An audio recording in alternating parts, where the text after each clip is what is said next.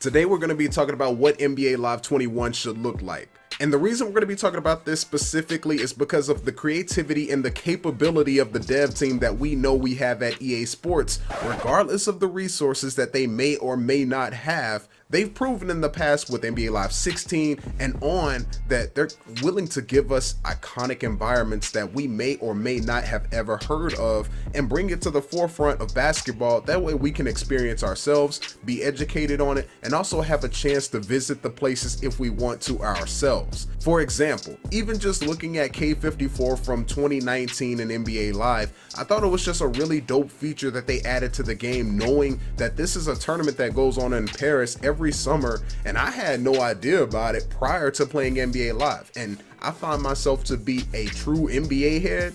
But with that, man, it honestly opened my eyes to more opportunities to seek out more basketball around the world besides America. And with that, man, we're going to start this video off talking about some of the courts when it comes to what NBA Live 21 should look like. And we're starting off with the Adidas 747 warehouse. Now, for those of you that are unaware, this was a court at All-Star Weekend 2018 that Adidas put on and they had the likes of Damian Lillard there. James Harden released his, I think, second or third shoe there. Performances from Snoop Dogg, 2 Chainz, and etc. etc. And I just thought it was a dope look just seeing this court potentially could be in NBA Live 21 with the greens and yellows, how it pops, the location that it has with the lights outside. I think this would be a really good looking court, especially with the seating around it. Just imagining the environment that it has, it would be really dope to see it in the game. Now transitioning into my next subject, this is something that NBA Live and EA Sports have been getting into recently and that's helping out foundations with their local parks or basketball courts and some of those players having their own foundations, i.e. like a Dennis Smith Jr.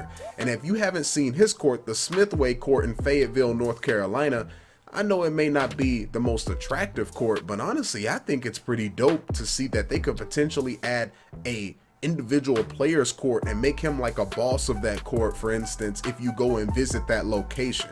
And now when it comes to this court specifically, they introduced it in 2018 with NBA Live 18, and that's the King Drew Magnet High School, or for better known, the Drew League.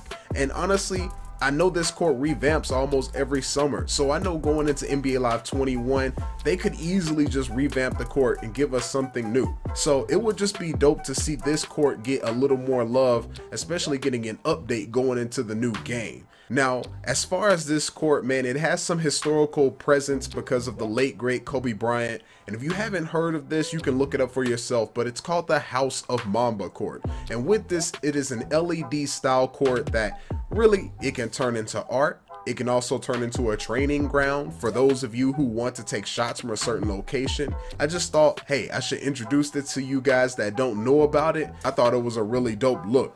Now, if there's any court in this video that would really be added, it's this court right here. And it's the Jordan Jumpman Downtown LA Rooftop Court.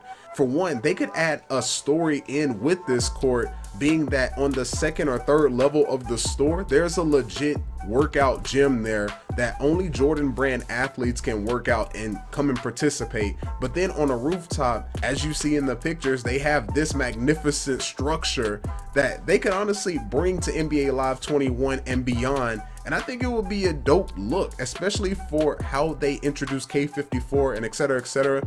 They could just bring this as another addition or DLC in the future to NBA Live 21. Now, of course, with this video, I gotta add a couple of courts that may or may not even see the light of day, but this is the Nike Chicago court. They basically took a church in Chicago, went in and redid the court all together and the surroundings of it, and I thought it was pretty dope that Nike took that on and did that themselves. NBA Live could easily add something like this just for a troll, but I think it's a good look just to have the option of having it. And with that, I'm transitioning into this court, which is one of the most eye-catching courts that I saw, which was the Nike Rivington court in Manhattan.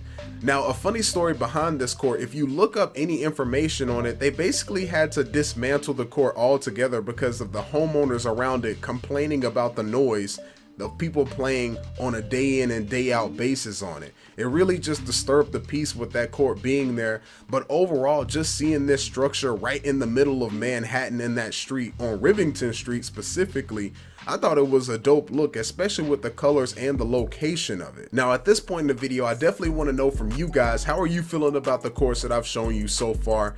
Do you think that this would add to NBA Live 21 or in the future, depending on how they release this? They could easily go about talking about a biannual or triannual release period where they release one game every three years and they have a consistent dev team on it that can work on it multiple years, similar to Apex Legends. Now that moves me on to another court that maybe they've already considered putting in NBA Live 19 or beyond, which is a Nike Stanton Street court in New York by KAWS.